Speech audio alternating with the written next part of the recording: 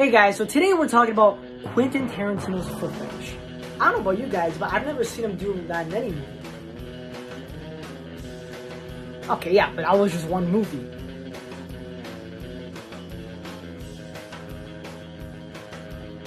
Okay, well that's, that's kind of creepy, but...